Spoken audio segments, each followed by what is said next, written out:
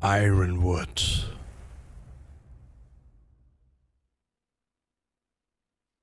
Kepler.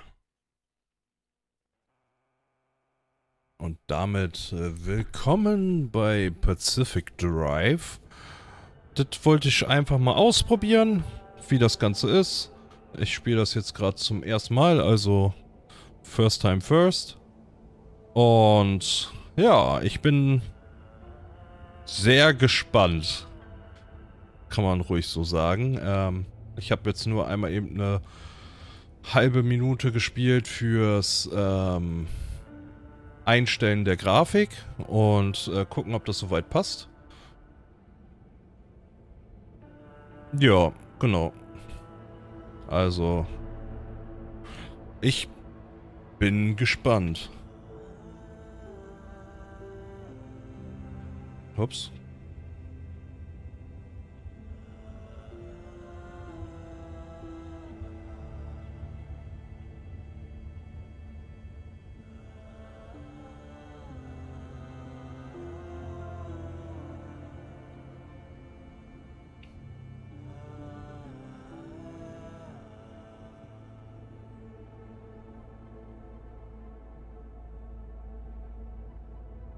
So.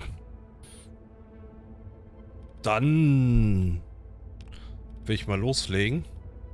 Okay, selbstgeführte Tour, Pazifik, der Hohring, White Hurricane Ridge, Keller, Rugby Beach, Lake Crescent, Drink Up, Park Rules, okay.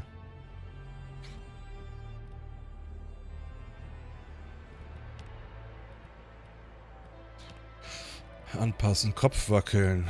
Okay, Werkzeug wackeln. Gott, kann man hier viel einstellen. Wir machen einfach mal Standard.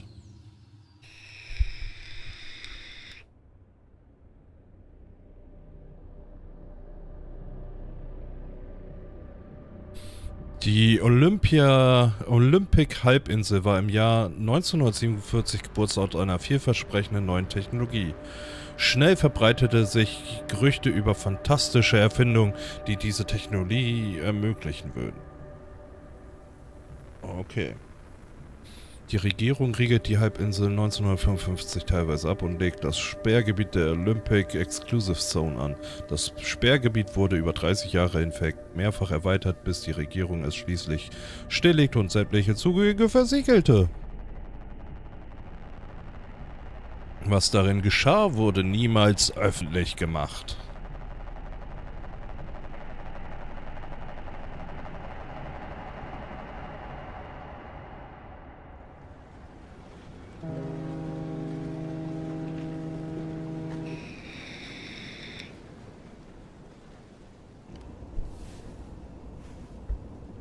Okay.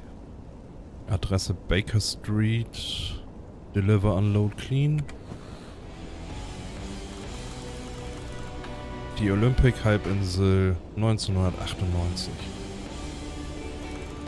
Oh. Cool.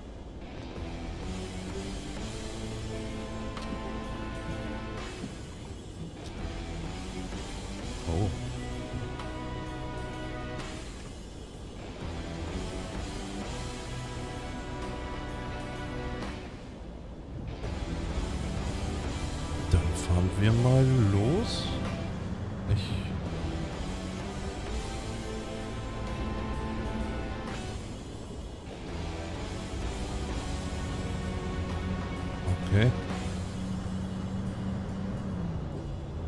Ist das wirklich ein Autosimulator? Ich bin gespannt. Ja, Freunde. Und damit fahren wir ganz entspannt durch die Gegend. Ich habe keine Ahnung, was hier abgeht. Ich weiß noch nicht mal, können wir irgendwie aussteigen? Nee. Ah, Okay. Ist ja mal interessant. Also, das ist anscheinend ein Autofahrsimulator. Mal sehen, was auf uns zukommt.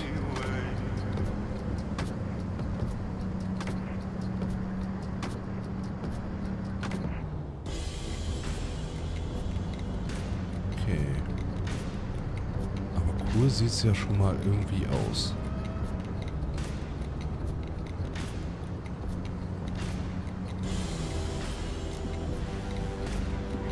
kann ich auch mit C. Okay, cool. Mit Regen und Wetter, wahrscheinlich Tag-Nacht-Zyklus.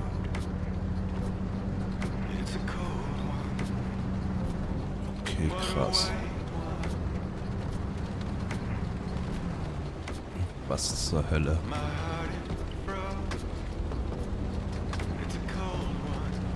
Und mit H? Nee, oder L? Nee, wie kann man denn... Also das Licht... Ah, mit... Ja, nee. E war nur Auswählen des Schalters, okay.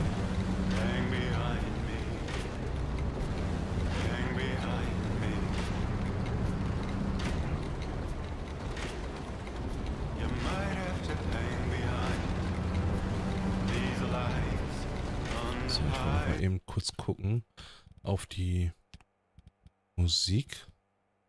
Sicherer Modus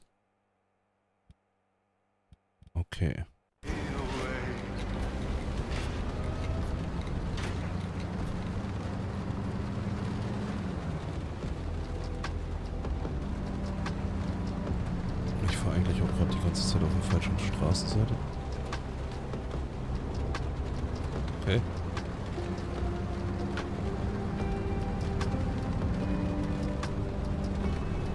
Das Spiel jetzt noch so 20 Stunden später.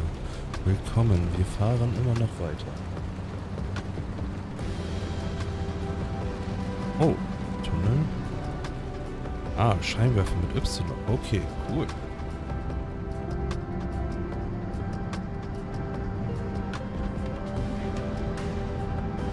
Also grafisch finde ich das aktuell echt nice. Irgendwie zwischenzeitlich ist das ein bisschen clean alles. Wie zum Beispiel das Auto, das finde ich irgendwie sehr, sehr grafisch cleaner Look. Aber äh, was passiert jetzt?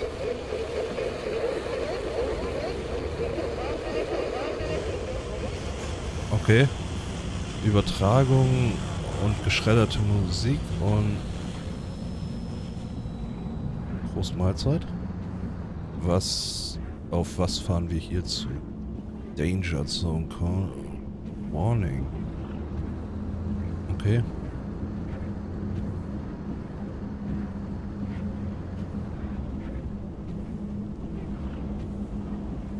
Wir haben noch einen, mehr als einen halben Tank, wie man hier sieht.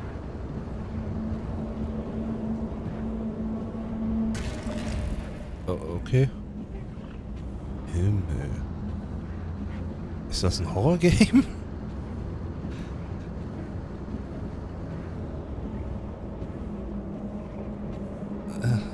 Ey, nur weil ich auf der falschen Fahrerseite fahre. Äh, Fahrseite. Hi. ich, ich muss mal was anderes. Äh, das mit Minecraft gestern, das hat mich echt... Oh, mies abgefuckt. War aber eigentlich auch klar, dass sowas früher oder später eigentlich passieren sollte. Ja, aber ich habe so viel von Pacific Drive überall gesehen, aber noch nicht richtig Gameplay gesehen. Und ähm, nur so ein bisschen, dass man mit dem Auto durch die Gegend fährt und das so... Äh, ja. Das Auto ist die Basis und dann guckt man einfach.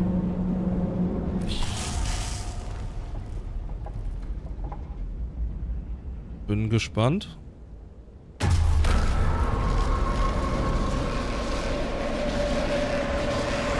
Yo. Okay.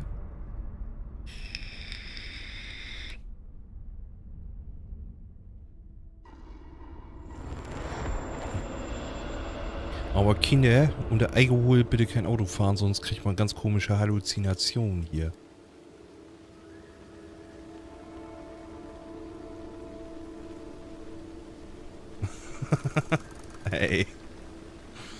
Okay, Olympic Exclusive Zone. Okay, ich kann gehen und... Muss ich den Reifen einsammeln? Oh.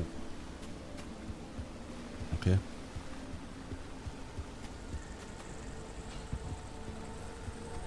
Ist das einfach mein zerlegtes Auto?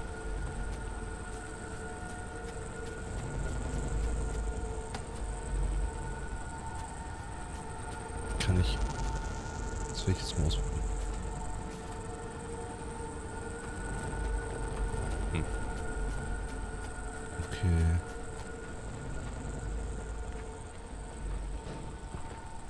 Das ist hart strange.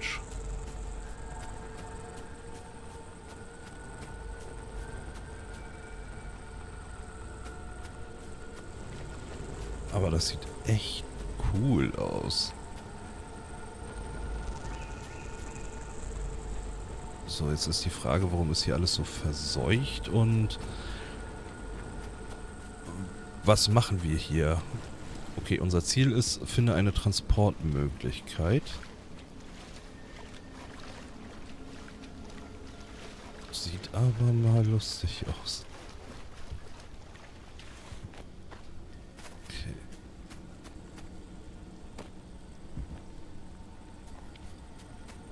Also irgendwie gra der Grafikstil ist irgendwie komisch. Kann man das so sagen? Ich, ich sowas von Comic?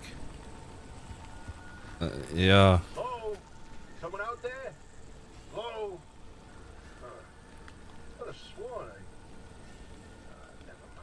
Ich dachte, die Toiletten wären am, immer am Ende des Ganges.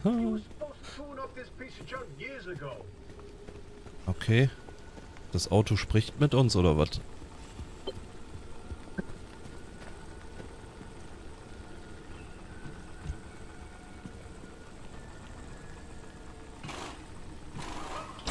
Okay. Ich habe einen Sommerreifen montiert. Gibt es hier noch mehr zu erkunden? Oh, uns fehlt eine Hintertür.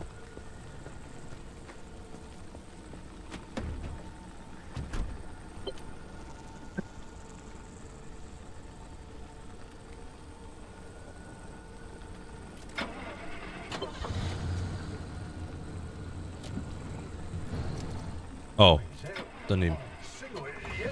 Okay, Tobias. This is Tobias Barlow and Francis Cook, located in mid-zone sector B. Do you read me? I'm picking up your distress signal in the outer zone.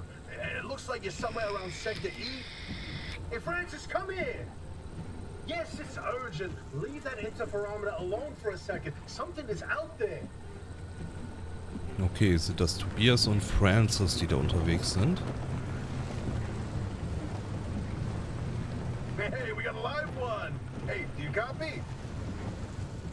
Ja, das funktioniert. Nein, anscheinend nicht.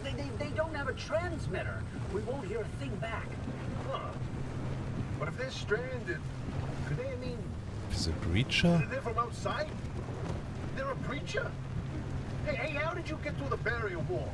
No one's gotten into the zone in ages and lived to tell about it. And if we don't get them to safety, this one won't either. That's a good point. Hey, you're in serious danger. The instability's closing in, and it's gonna scramble you quicker than beef in a blender. Your closest shelter is a few miles east. Get there however you can and be quick about it.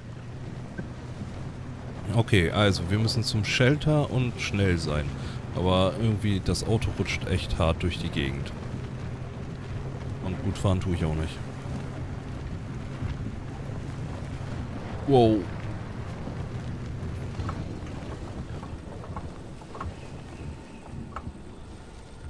Als ob ich es prophezeit habe. Das kann doch nicht sein. Cool. Also ich muss... Ich konnte gerade nicht bremsen. Ich musste wirklich die Parkposition einnehmen. Damit ähm, das Auto nicht weiterrollt.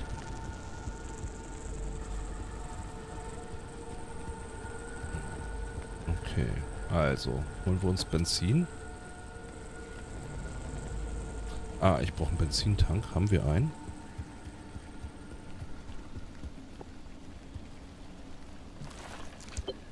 Äh.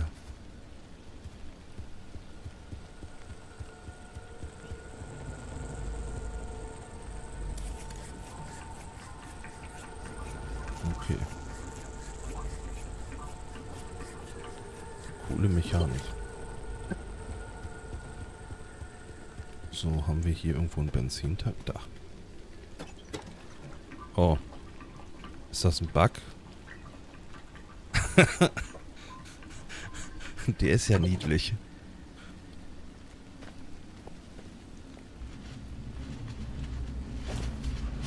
Obwohl, der ist echt klein. Hilfe.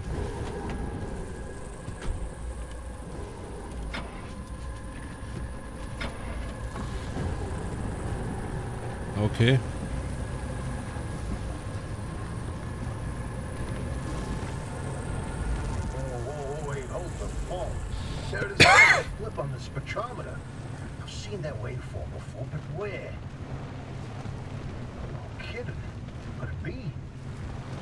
Remnant?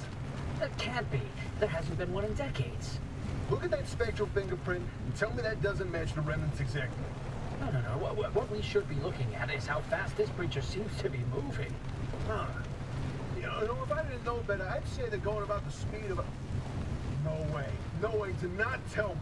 They found a remnant and it's a car this time? Holy Christ! Heiliger Strohsack.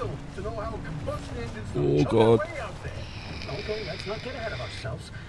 First, the breacher needs to get to safety. Then we can look into whether that car is a remnant or not. In my heart of hearts, I already know. They're back, baby. Oh Gott. Also, wir fahren gerade mit einem Relikt durch die Gegend. Albie ain't gonna like you poking around in there, but better to face a bad side than let the zone eat you alive. Okay, also wir sollen zum Unterschlupf fahren. Da. Bevor es Ärger gibt oder wir kriegen Ärger, weil wir dahin fahren.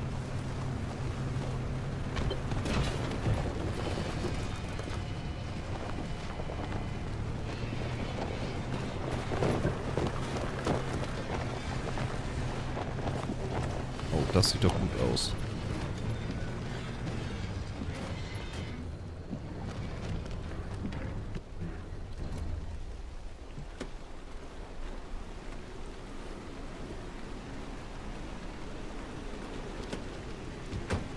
Okay, komisch.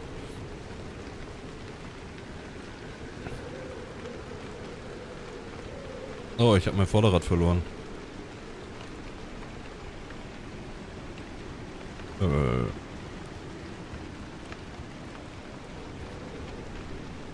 Wieso habe ich mein Vorderrad verloren?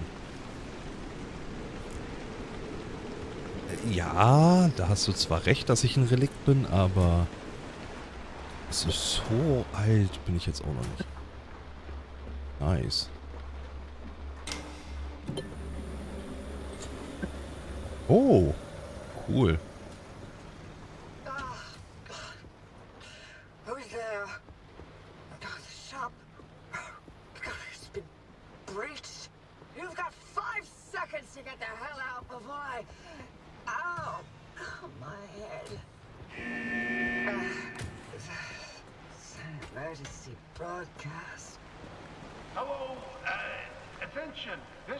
Message is for Dr. Ophelia Turner. We sent a preacher to your garage on um, official zone business. Now, we have it on very good authority that this person is in possession of a remnant, which has taken the form of a car, and, well, uh... You're on the remnant thing. She's not gonna care. Um, uh, right, like I said, Okay. super official zone business.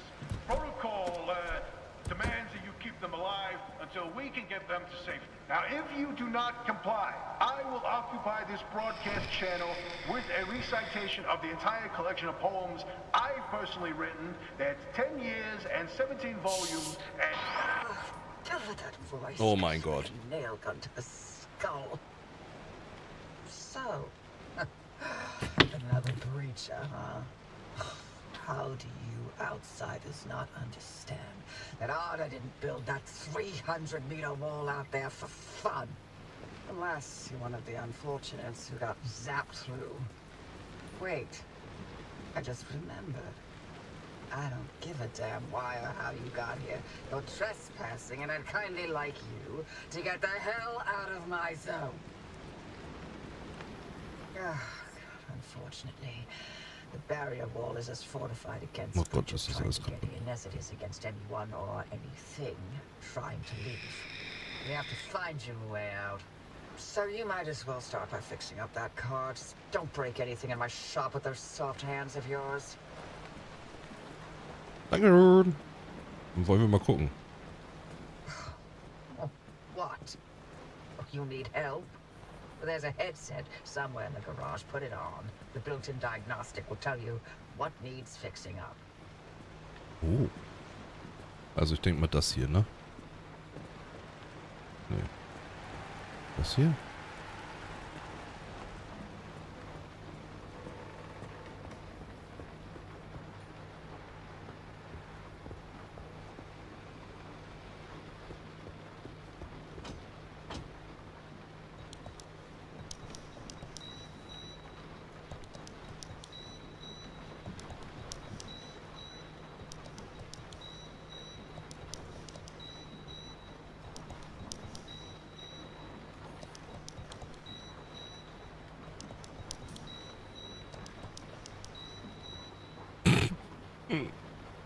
Okay, damit kann man ja echt hart auf den Sack gehen. Also, eigentlich dachte ich jetzt, das wird dit. Aber irgendwie kann ich hier nichts machen.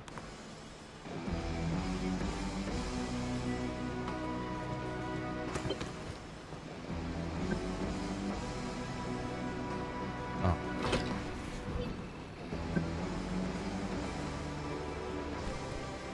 Cool. Das ist der Rucksack, den ich gerade aufgenommen habe. Oh Gott.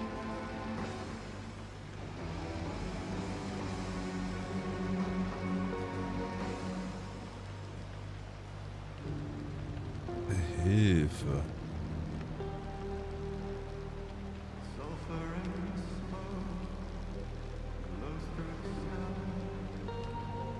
Oh, guck mal. Da soll ich hin. Das ist der Feuchtwald. Okay. Und alles so Symbole aus, äh, aus dem Auto. Das ist cool. Okay, während du Schneidenbremsen verfahren und Dauerbetrieb. Drive wechseln und natürlich den Motor ein- oder außerdem kannst du das Radio, die Scheibe schon jumpen. Ich kann hupen? Okay. Autowart, oh Gott. Benzin, Starthilfe. Reparatur, okay. Was haben wir hier noch? Reifen. Ein unschuldiger kleiner Sommerreifen. Bitte verzeih mir die Strapazen, denen du bald ausgesetzt sein wird. Was im Volksmund als Ersatzreifen bezeichnet wird, ist zumeist ein vollständiges Reserverad. So oder so, es lohnt sich immer so ein Ding dabei zu haben. nice. Arcdog. Okay. Anbremsen. Mit einem schnellen Hebelzug kannst du die Hinterräder des Autos blockieren und so einen Teil deines Momentums in einem Schleudergang verwandeln. Vielleicht beeindruckst du damit sogar die Anomalie, die dich beobachtet. Ah, okay. Pappkartons.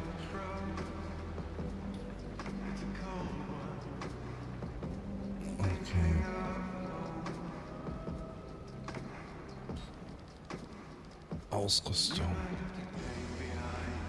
Das Mechanikerauge. Das Headset, das OP zusammengeschustert hat. Du kannst damit Objekte im Sperrgebiet scannen, um Informationen zu erhalten. Mit seinem Diagnosewerkzeug kannst du dir einen umfassbaren Überblick über den Zustand deines Autos verschaffen. Ah. Dieser Rucksack mag zwar nicht der größte sein, aber solide und strapazierfähig wie er ist, hat er immer noch genug Raum für alle erdenklichen Werkzeuge und Ausrüstungsteile. Okay, was haben wir hier? Die Werkstatt, okay. Die Werkstatt ist dein Heimathafen zwischen deinen Ausflügen in das Sperrgebiet. Hier bist du sicher. Nimm dir also die Zeit, dein Auto zu reparieren, herumzutüfteln und zu ver und Verbesserungen zu erforschen, bevor du dich wieder in das Sperrgebiet wagst. bewegen und interagieren. Im Sperrgebiet bist du auf dich allein gestellt. Zu Fuß kannst du umherlaufen, rennen, kriechen, springen. Du kannst auch einige Gegenstände aufheben, fallen lassen, werfen und ihnen einen Tritt verpassen. Wenn du Knöpfe oder Tastenfelder siehst, drücke nach Lust und Laune drauf herum. Du kannst die Tastenbelegung im Menü ändern.